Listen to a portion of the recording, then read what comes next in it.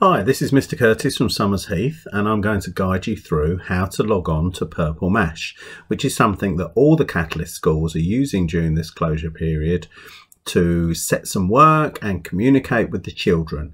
So logging on is really important. Hopefully you've got your login details from your school. If not, try and contact them via email and they should be able to forward those to you. Okay, so you go to your web browser of choice um, and you do a search for Purple Mash in the search bar. And you can see Purple Mash is coming up. If we click on there, any of these will take you through to it. I've just got one up here already. So you should get to a page that looks like this. Ignore this part at the top. This is about teachers and logging on separately. This is the children's aspect we want. And so you need to do find my school's login page.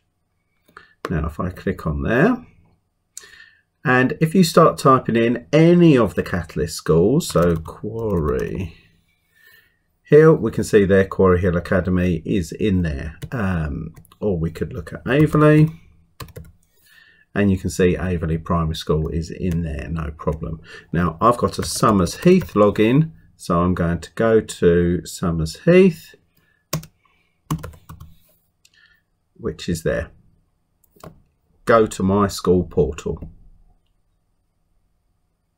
Once I've here, we just type in your username, usually pretty simple, and then you've got a password, which is just a number of digits, and you may have a card which has got some pictures on it to help the children remember the digits. It's just four digits.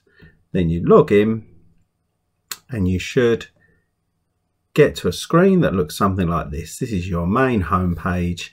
You can see you're logged into your school and this is where you start and finish most of your activities. So check back, we shall do another video to show you how to access some other things on there.